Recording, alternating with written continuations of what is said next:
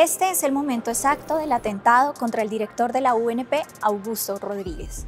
El director de la Unidad Nacional de Protección, Augusto Rodríguez, sufrió un atentado en Bogotá fue atacado por varios hombres en moto que lo interceptaron cerca a su residencia en el barrio Ciudad Montes de la localidad de Puente Aranda. Al parecer, cuatro hombres en dos motocicletas llegaron fuertemente armados y se enfrentaron contra el esquema de seguridad del funcionario.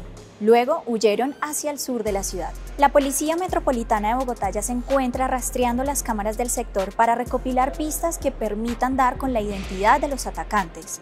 Un hombre de unos 29 años resultó muerto en la confrontación. Por su parte, los escoltas salieron ilesos del atentado y a esta hora se busca a uno de los presuntos atacantes que habría resultado herido en los hechos. Si quiere conocer más detalles sobre esta noticia, no olvide visitar nuestro portal www.eltiempo.com.